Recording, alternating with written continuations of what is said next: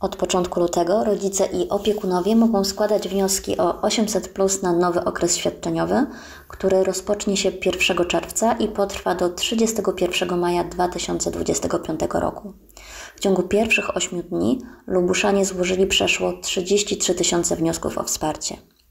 Wnioski na nowy okres świadczeniowy można złożyć do Zakładu Ubezpieczeń Społecznych za pomocą bezpłatnej aplikacji MZUS, platformy usług elektronicznych PUEZUS, bankowości elektronicznej i portalu Empatia.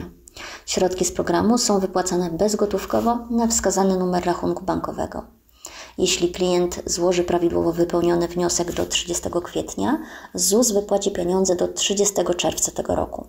Będzie więc pobierał świadczenie bez żadnej przerwy. Jeśli wniosek wpłynie w maju, świadczenie trafi najpóźniej do 31 lipca wraz z wyrównaniem od czerwca, a jeśli w czerwcu, to pieniądze będą na koncie do 31 sierpnia, także z wyrównaniem od czerwca. Świadczenia na podstawie wniosków, które ZUS otrzyma od lipca, będą wypłacane już tylko z wyrównaniem od miesiąca, w którym wpłynęły.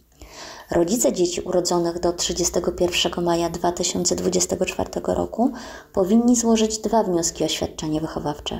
Pierwszy na bieżący okres świadczeniowy 2023-2024, który zakończy się 31 maja, o ile oczywiście do tej pory tego nie zrobili, i drugi na okres świadczeniowy 2024-2025, który rozpocznie się 1 czerwca tego roku.